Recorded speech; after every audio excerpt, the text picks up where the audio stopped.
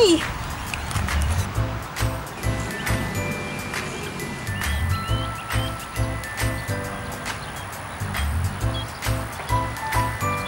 Oh crap.